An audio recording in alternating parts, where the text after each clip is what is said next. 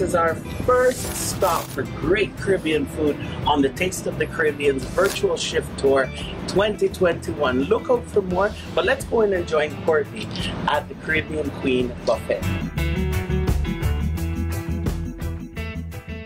Now, this is the best part for me. This is all about the food, the taste, the atmosphere, and the conversation. We're back with TOTC, the virtual shift tour, and we're getting down to the grub. Courtney, Yes. this is amazing. 22 items in one buffet. Yes. And everything has a Caribbean flavor to it. For the vegan lovers, the chickpeas, what are the main ingredients in it? Scallion, thyme, onion, Mm. garlic. And it's it's how you do with what you have. Because that's our authentic Jamaican flavor. Because I love what I do, I put love into what I do. Mm-hmm. I taste it. And so that is why my food is lovely. So for the meat lovers, mm-hmm. there is a lot here too. And I've tasted the goat, we had a nice taste of a little bit of the chicken.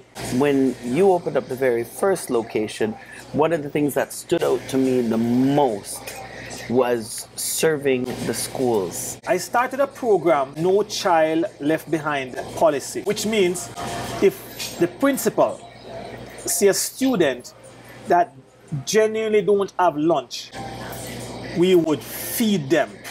So at any given day, they would send over two or three students and we would take care of them. Other thing that we did for the community again is nobody come into my restaurant and walk without eating. eating. Mm-hmm. Anything, any money you have, you get something for what you're coming with. Hmm. And so these things that I do for the community is straight love. That's what it is. that that migration from Jamaica to Canada, opening a business in Canada. What was that like for you? For me, it wasn't hard because I have the family support. My, my, I came here, my wife, 13 brothers and sisters. Hmm. So they were behind me 100%. And so we could, you know, pool certain resources and make things happen. But it's very, it's, it's very, very hard for you to run a business in Canada and you don't have a strong financial backing. Mm-hmm. And one of the things that I was talking to the minister just recently, because I was fortunate enough to be present when the Prime Minister was announcing this $250 million mm-hmm. for the black community. I was one of the business that was selected. Mm. Yes, so I was in that seminar as a proud Jamaican black man. One of the things that I spoke about was the fact that we have systematic racism that is, exists within the institutions, which disallows us to get funding. Right. And we know that. Yes. And so, if you don't have a buffer, if you don't have a little line of credit to rock back on, mm-hmm. something like COVID hit you, you are finished. So, we started this business, and it was 100% financed by myself and some people around me. So the support from the very beginning being there and then COVID causing the lockdown, I see it as a good thing because it gave you time to restructure, rescale, Yes. and then reinvent.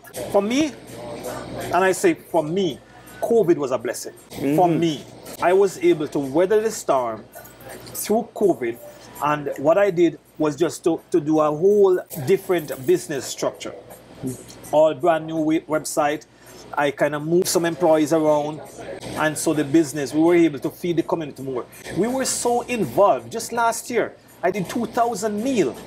Wow. 2,000 meal for Thanksgiving. I gave away to the community. Yes, that was huge. And everyone in the community still talks about that. As you as you grow, do you find that the changes that are needed to really expand yourself are affecting you in any way? time to time you have to change your business strategy. Right. Any good businessman know that, or any successful businessman know that. Mm-hmm. If you if you do something, it may be working to you, but might be able to take you to this level. Mm-hmm. Now, in order to go to this level that we're at now, I had to change my strategy to get that 100% customer service effect because we had complaints, little bit, so we fix it. We listen to the customer to make mm-hmm. sure that we can take the business to a different level. This that you're seeing here now, we are just getting started.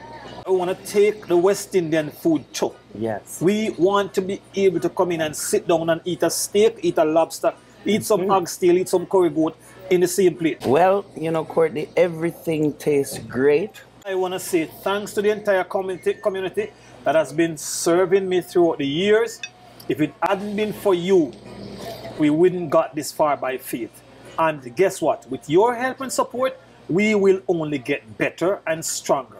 And I, I assure you, I'm there 100% to give back to my community. Thank you Lovely. Thank you so much, Courtney. The food is always impeccable. Best place you can go while in Toronto is right here Caribbean Queen Buffet. This is location five. Go to location one and make sure you stay tuned in for the next episode right here on TOTC, the Taste of the Caribbean Virtual Shift Tour. Glad to be with you.